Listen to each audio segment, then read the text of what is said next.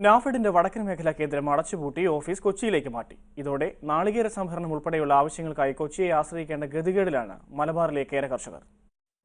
മലബാർ മേഖലയിലെ കേര കർഷകർക്ക് വലിയൊരു ആശ്വാസമായിരുന്നു നാഫെഡിന്റെ ഈ കേന്ദ്രം.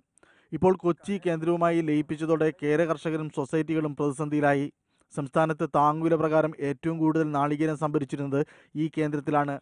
നിരവധി കേര കർഷക ക്ഷേമ പദ്ധതികൾക്ക് കേര കർഷകൻ ആശ്രയിച്ചിരുന്നതും ഈ കേന്ദ്രത്തിൽ തന്നെ?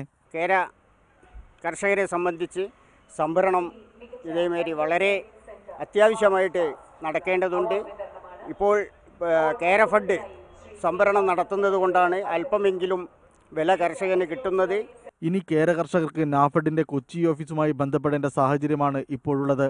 കാർഷിക വിളകൾ സംഭരിച്ച് വിലയിടിയാതെ നിലനിർത്തുന്ന നാഫെഡിന്റെ ഈ കേന്ദ്രം പൂട്ടിയതോടെ ഉൽപ്പന്നങ്ങൾക്ക് വിലയിടിയുമോ എന്ന ആശങ്കയും കർഷകർക്കുണ്ട്.